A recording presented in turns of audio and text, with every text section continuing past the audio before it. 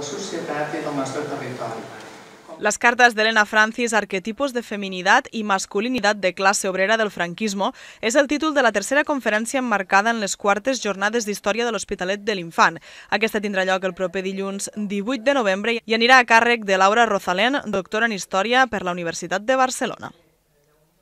Les quartes jornades d'història en aquesta edició duen per títol Espai i poder en la Catalunya contemporània i sobre aquest tema tracten les quatre conferències programades dins d'aquest cicle. Totes elles s'imparteixen els dilluns del mes de novembre a la Sala Bonet Castellana del Centre Cultural Infant Pere a dos quarts de vuit de la tarda. Les organitzades del campus extens de la Universitat Rovira i Virgili al municipi amb el suport de la Regidoria de Cultura i Patrimoni i sota la coordinació de Neus Baena Gallardo, llicenciada en Història i màster en Societats Històriques i Formes Polítiques a Europa per la Universitat Rovira i Virgili de Tarragona. Tarragona. Referència al Valle de los Caídos seria el que jo he titulat allò que la...